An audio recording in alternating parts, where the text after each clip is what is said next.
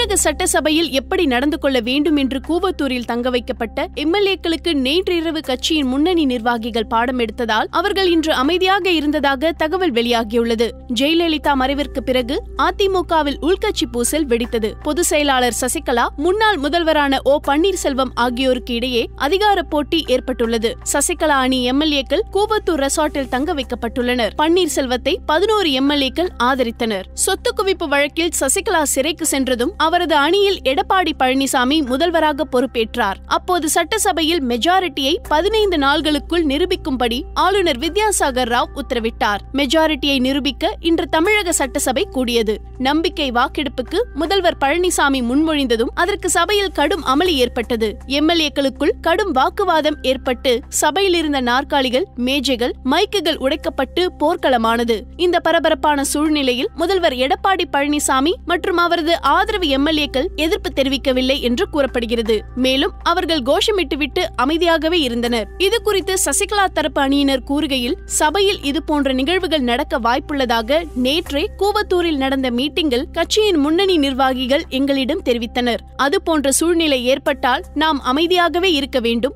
உணர்ச்சி வசப்படக்கூடாது. மெஜாரிட்டி நம்மிடம் இருந்தும் நம்பிக்கை வாக்கெடுப்பு நிலைமைக்கு தள்ளப்பட்டிருக்கிறோம். இந்த வாக்கெடுப்பில் நிச்சயம் நாம் வெற்றி பெறுவோம். அதை தடுக்க பன்னீர்செல்வம் மட்டுமல்ல திமுகவினரும் முயற்சிப்பார்கள். எனவே சபையில் கடைசி வரை அமைதியாக இருந்து அம்மாவின் ஆட்சியை தொடர வேண்டும் என்று பாடமே எடுத்தனர்.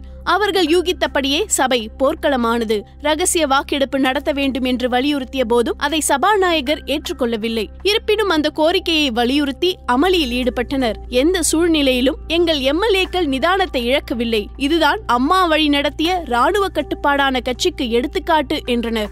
மேலும் இதே போன்ற செய்திகளை தெரிந்து கொள்ள சுட சுட சேனலை சப்ஸ்கிரைப் செய்யுங்கள்.